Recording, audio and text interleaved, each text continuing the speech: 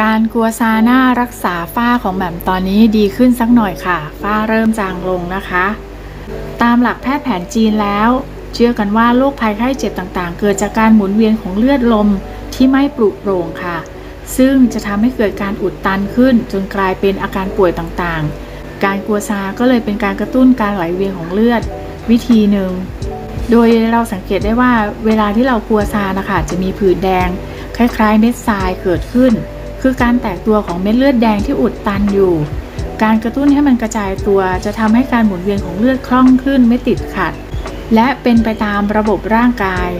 นอกจากนี้การไหลเวียนของเลือดเป็นไปได้ปกติเม็ดเลือดแดงจะนำออกซิเจน ไปเลี้ยงส่วนต่างๆ ของร่างกายได้ดีขึ้น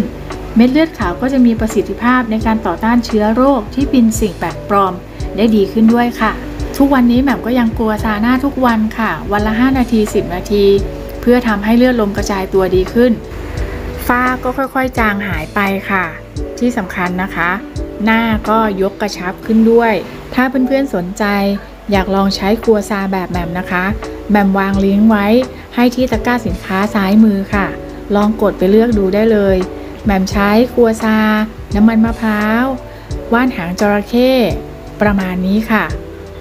อย่าลืมกดหัวใจกดติดตามเป็นยังไงบ้างมาเล่าให้ฟังด้วยนะคะ สวัสดีค่ะ